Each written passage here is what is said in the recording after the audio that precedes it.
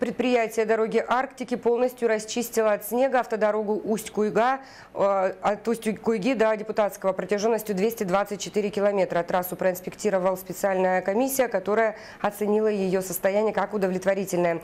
Село Сайлык обеспечено дистопливом до 20 марта, сырой нефтью до 11 марта. В других населенных пунктах Устьянского района ситуация с доставкой топливно-энергетических ресурсов стабильная. В Андрюшкино Нижнеколымского района перевозки осуществляются через село Аюсардах и Аргахтах Среднеколымского района.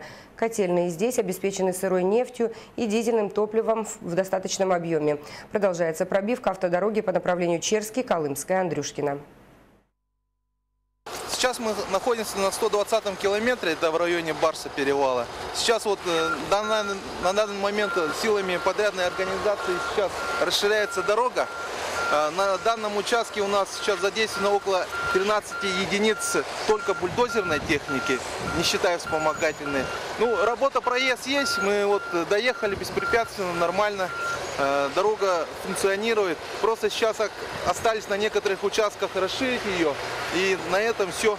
Транспорт проезжающий мы встретили, э, наливники встретили, нормально проехали.